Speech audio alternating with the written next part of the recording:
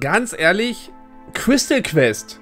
Was für ein nichtssagender Name mit einem nichtssagenden Cover. Dahinter kann sich ja quasi alles verbergen. Von einem Rollenspiel bis hin zu einem Action-Plattformer. Da mich das Ganze aber irgendwie neugierig gemacht hatte, habe ich das Spiel trotzdem auf einer Börse eingesteckt. Also, lass uns mal zusammen herausfinden, was sich dahinter versteckt. Was taugt Crystal Quest für den Game Boy heute noch? Das Spiel erschien 1991 in den USA und wurde von Data East programmiert und natürlich auch veröffentlicht. Andere Teile der Welt bekamen keine Version ab. Ob dieses schade ist, das klären wir gleich.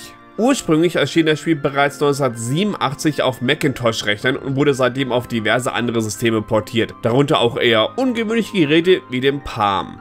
Okay, Ihr seht es wahrscheinlich schon am eingeblendeten Gameplay und bei den Entwickler Data East sollten eigentlich fast schon die Alarmglocken schrillen.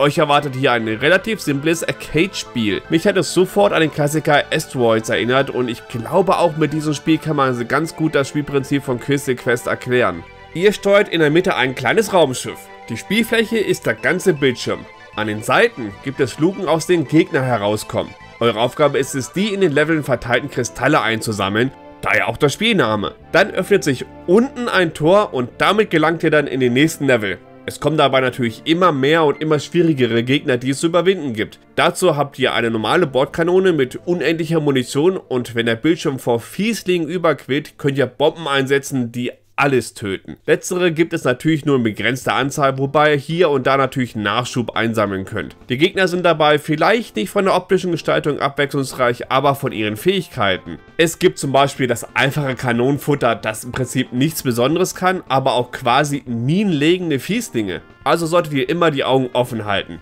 Ein Kernfeature ist die etwas seltsame Steuerung. Ich meine, klar, ich steuere das Schiff ganz normal mit dem Steuerkreuz. Mit einem Knopf betätigt ihr dann die Bordkanone und mit dem anderen könnt ihr die Bomben zünden.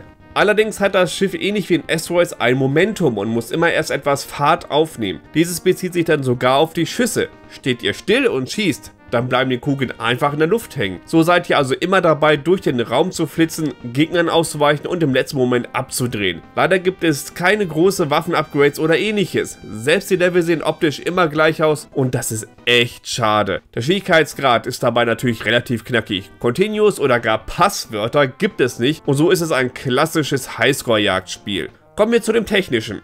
Grafisch hält sich das Spiel schon mal eher zurück. Es gibt keine großen Sprites oder sonstige effekthaschende Effekte. Das ist jetzt für ein Arcade-Spiel durchaus in Ordnung. Es kommt ja schließlich eher auf das Gameplay an. Was ich jedoch nicht so in Ordnung finde, ist der Sound. Während die Effekte im Prinzip das sind, was ihr von ihnen erwartet, glänzt die Musik mit kompletter Abwesenheit. Und wirklich, kompletter. Also liebe Entwickler, etwas mehr Mühe hätte man sich hier definitiv geben können.